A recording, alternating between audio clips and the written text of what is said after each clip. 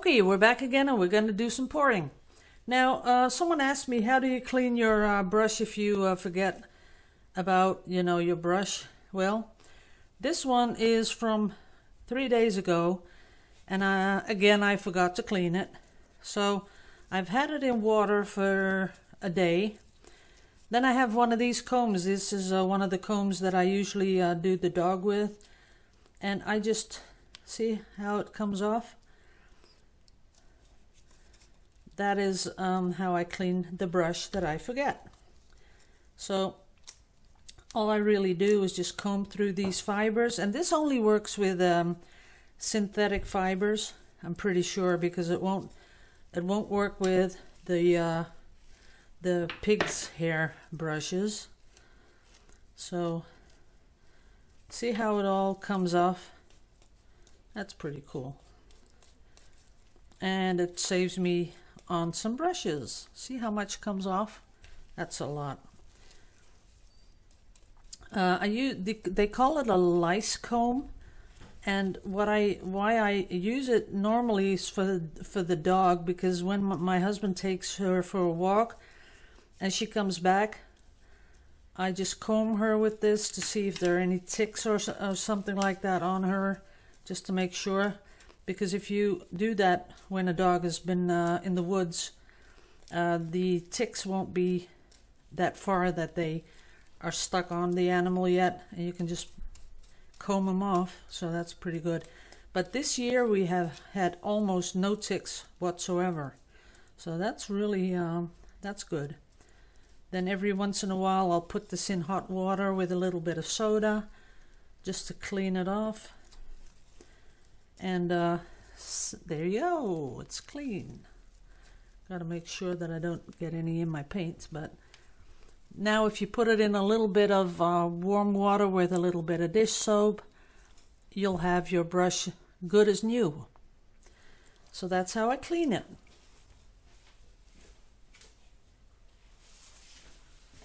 Ooh, I'm doing a lot of videos this uh, this weekend, so um, bear with me, guys.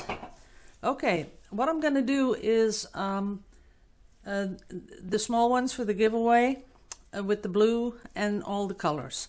So um, what I did uh, last time was in a, a bottle cap, and I think that's the way to go for paintings that are this small. So I have my paints all mixed up, perfect consistency, runs off the stick like warm honey. And this is the background color, so no silicone.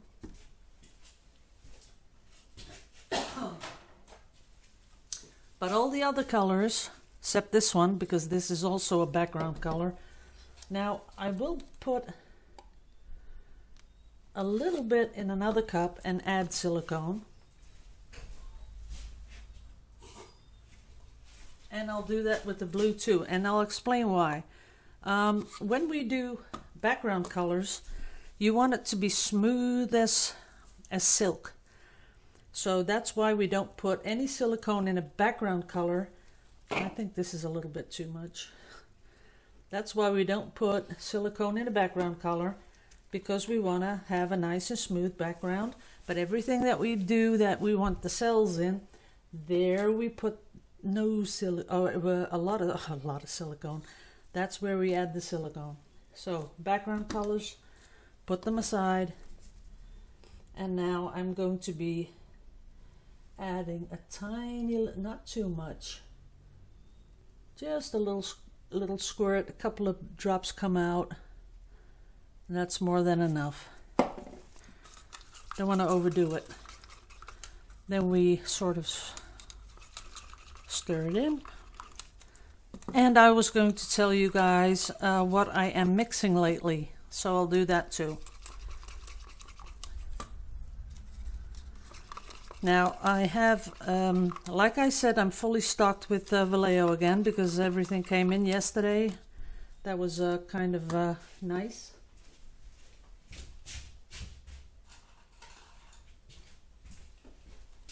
Now what I use is for the uh, mix is Vallejo pouring medium, the new formula.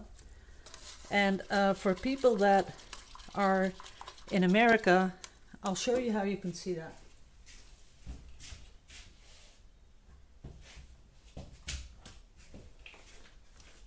But the old formula will work too. So if you have the old one, it's no problem. But this is the new one. And you'll see that with the red dot.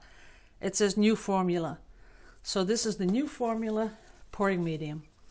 If you want to make sure you get the good one, it's 28460. That's the pouring medium. Now, if you're using Vallejo fluid acrylics, which I will be doing later on, I'm going to do the same one, but then with Vallejo, then it's the thicker medium you want. That's 28465. That's the thicker medium. So that's that. So I put paint in my cup. I add 30, 35, 40% pouring medium. It's not like baking a cake, guys. I want to really put a lot of um, emphasis on that because it's not like baking a cake. It's going to work. So you just eyeball it. You put in like 30, 35, 40% pouring medium on the paint. Some people say give us that in milliliters, but you can't because I I'm, I don't know how much paint you're going to be putting in your cup because you decide how much of one color you're going to use. So you just put it in the cup, 30 35% pouring medium. Then I have my PVAC glue. A lot of people are asking what is it? It's bookbinders glue and it's archival. It doesn't yellow and it stays flexible. That's important. If you are if you're not sure, I wouldn't use it but it has to stay flexible, has to be archival, and it, it has to be non-yellowing uh, uh, glue. The one I have, it um, dries complete, completely transparent. It's almost like glass, so it will not. Well, when you mix the colors, it will because it's white, but when it dries, it will not influence the colors. I, I take that and I add about 30% water. I put it in one of those little squirt bottles or one of these bottles when they're empty. I fill it to the half of uh, with PVAC glue and then add about 30 40% water. I mix it up. It's nice and watery and that's what I put in my paint. And then I will put in some gloss medium if I have it. Sometimes I won't, sometimes I will. And I do polymer medium and that is, I'll show you that one. And it's all about the volume because uh, polymer medium is, of course, a lot of uh, binders. So you want to have your paints nice and fluid, but you don't want to add too much water because then you compromise the binding uh, capacity of the paint. So what you do is do a lot of this stuff like PVAC and polymer medium and gloss medium. And then you get to the right consistency, you add a little bit of water, and it's like honey. That's what I'm doing at the moment. Next week might be a whole different deal. You never know. Okay, so this is all the paints with the... Oh, I need a bottle cap, of course. I'll use this one. Now, I have uh, the background color without the silicone. Want to make sure you get that because background colors don't have silicone. Otherwise you get all those little dimples in it from the silicone and that's not what we really want. Look at that, almost the same color. So I thought I'd do it like this because it goes just a little bit faster and it's a little bit smoother.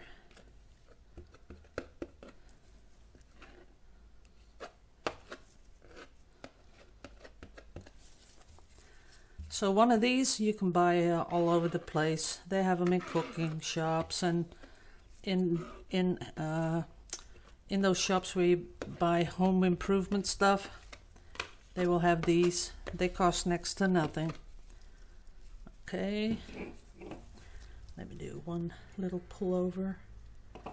That's okay. Oop, got my finger in there. Didn't want to do that. Now I do have to do the sides.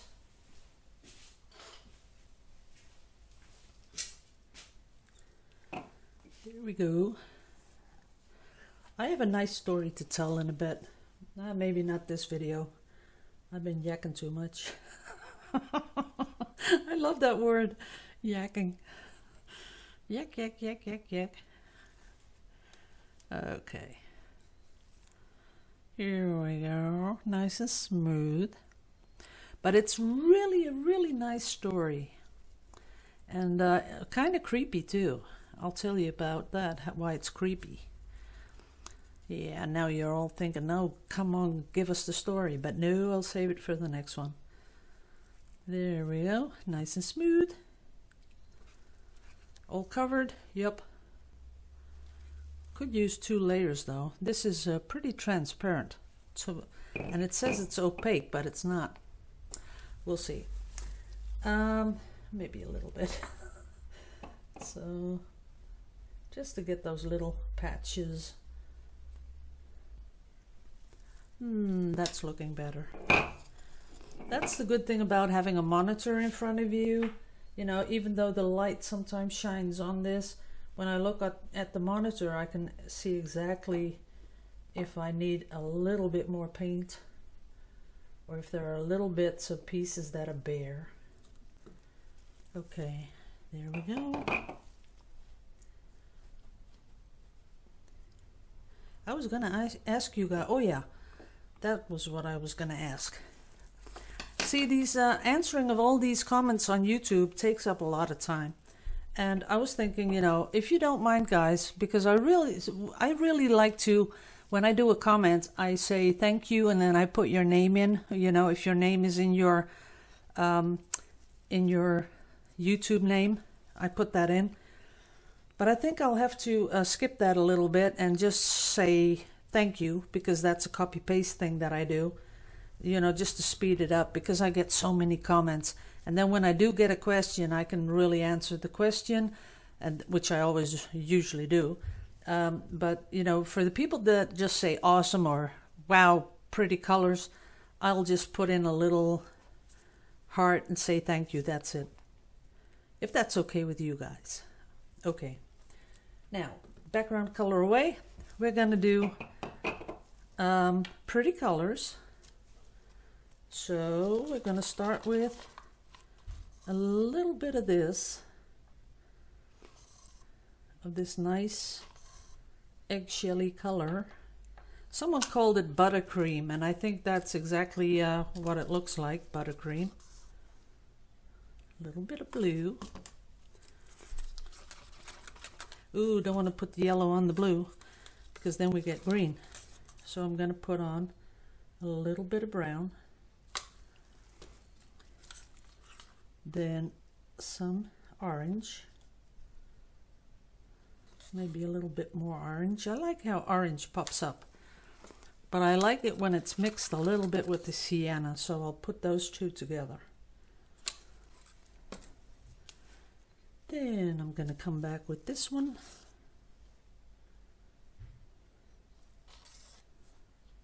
Okie and I'm already making a mess And I want to keep it a little bit clean because I'm going to be doing a lot of pouring. And I'm thinking turquoise, but maybe not. Let's not do turquoise. So we got all the colors in there. Oh no, we forgot the yellow. We're going to put in a little bit of yellow. Okay, that's enough. Now, here we go. Gonna smack that right down there. But we are also, oh no, not that one, background color. Gonna put a little bit around it.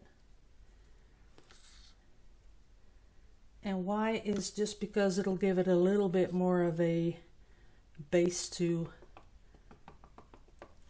oops, give it a little bit of a base to pull over. So here we go. That is pretty that way. I think that is kind of what I was thinking about. Maybe I do want to, oops, because I touched the canvas there, so I might want to blow it a little bit like that. Oh, now I'm in deep doo-doo. I got something that I, oops.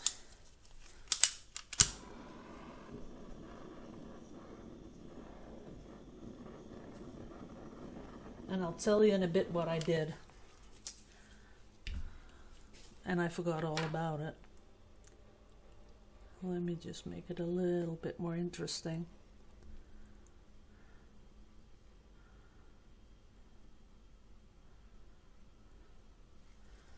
Oh, I would have liked that going a little bit wispier. Let's see if I can do that. I need one of those really small.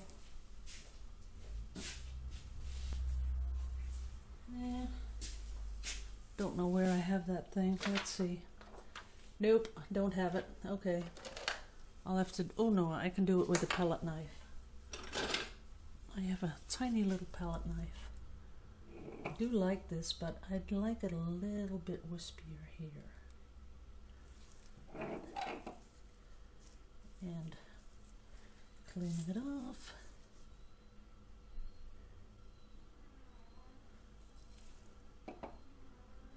That looks kind of nice, yeah.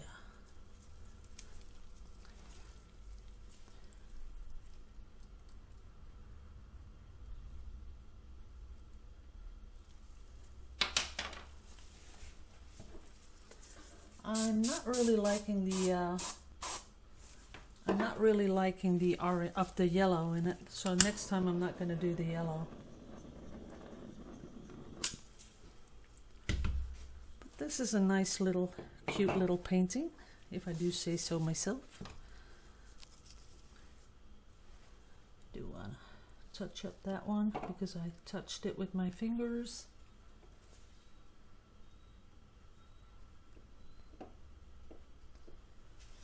Okay, someone from um, Croatia, uh, Yugoslav, former Yugoslavia, um, she ordered something, and some people, I don't know, I don't know what is with some people. So um, she put on the um, on the uh, the um, the order form. She said, "And if you have a spare torch, can you just put it in the package, and I'll just clean it?" And I'm thinking, I don't have a spare torch because I use them until they are not functional anymore. And then I just, you know, then you have to throw them out because, you know, they just don't work anymore. But I, I put my good torch in the package. I just gave it to her. I'm too good for this world. I know. yeah, I am ugh, totally. Sometimes I don't know why.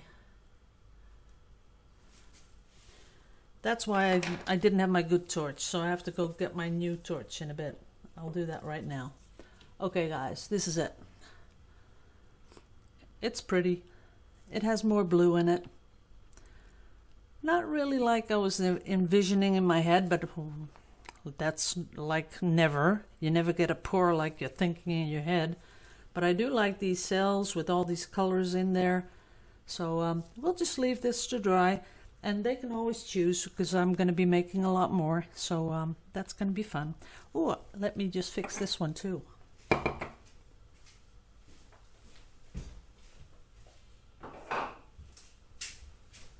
so we got the same colors we will just give it a little bit of paint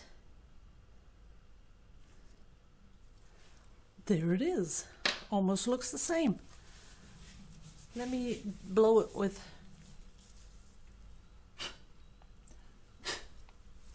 Now it's a blob. Well, maybe it'll, let me see. This one's almost empty. It a little juice. Ooh, that, that's not working.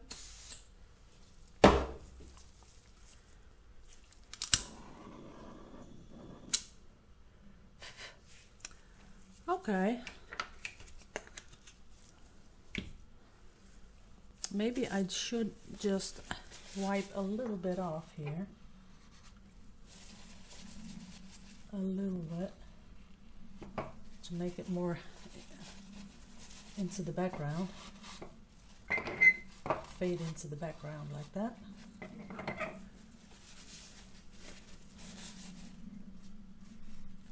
Who knows, maybe someone will really like it. because it's not always about what we like, right? So I'm to make sure it's sort of incorporated into the pour.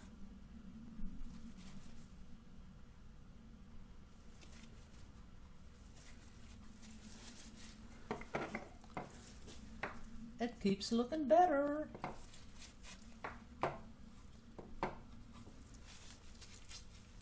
Now you can almost not see that it's uh, been touched up. And this will dry flat so you won't see it. So that worked out, right? Yep, okay. Oh, these are long videos. I don't care. You can find the fast forward button, I'm sure. So, I love you all to pieces. Liebe euch alle. Hou voor jullie allemaal. And I'll see you in the next video.